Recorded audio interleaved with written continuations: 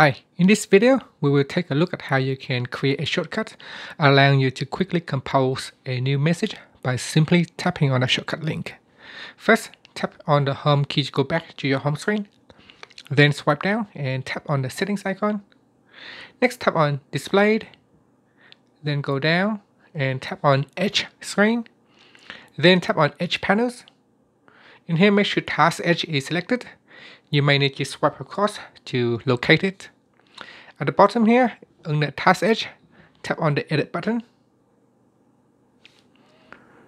Then go down to the messages section and tap on compose message. It will be added to the left, uh, to the right hand side here.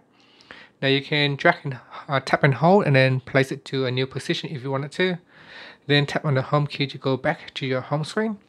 So whenever you need to compose a new text message, just open up your Edge panel, then tap on compose message, and now you're ready to uh, compose a message by simply selecting a, a, new recipient and uh, and you can put in the text message.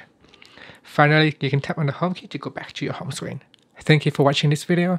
Please subscribe to my channel for more videos.